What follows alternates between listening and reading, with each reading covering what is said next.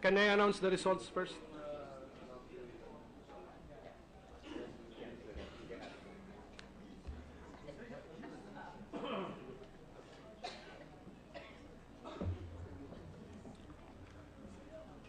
With 16 a- affirmative votes, 4 negative votes, and 2 abstentions, the motion is approved.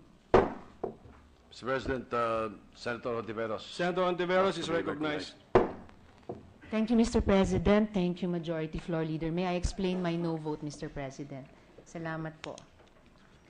Mr. President, there was no overwhelming, no overwhelming reason to declare the chairmanship of the Committee on Justice vacant.